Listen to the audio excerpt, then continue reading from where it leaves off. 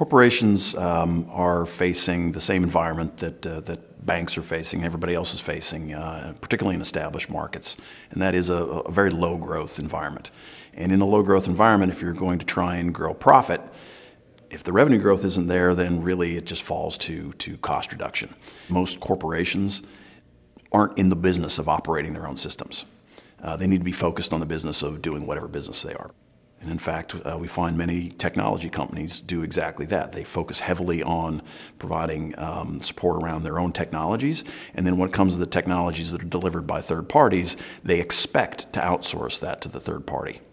So that allows them to take those, the uh, the money that would normally spend in a traditional IT environment uh, supporting uh, third-party products and reallocate that towards the products that are actually driving the underlying business and driving the revenue for that business. So in terms of where you're going to uh, aim your, your, your, underlying expense base, you're going to be aiming it more directly at revenue generating uh, functions than you are in terms of uh, aiming at, uh, at back office functions. When you do that, you're basically combining um, resources with other organizations that are uh, consuming the same application. And, and you get basically a, a structural, structurally better service level and uh, you can lower your structural costs year over year.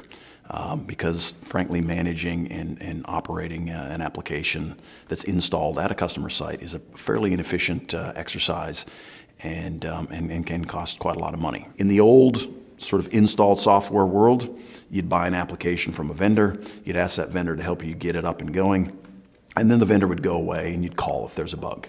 That's a pretty low service level, and incumbent in that is hey, I have to provide all the IT environment, I have to buy the databases, I have to buy the network connectivity, I have to manage that whole process, I have to have, I have to employ staff that um, manage the application itself, password resets, database administration, and, and, and the like.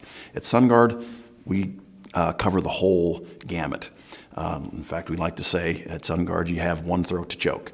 You can come do business with us, with us. We can provide the application, we can provide the IT environment for that application, and then we can provide the specialist services around it to make sure that that application is optimized for your business process. Uh, we do it on a contractual basis with a very high service level around, uh, around uh, wrapped around the, the, the service, and um, our customers love it it really does allow them to focus on the business of whatever their business is.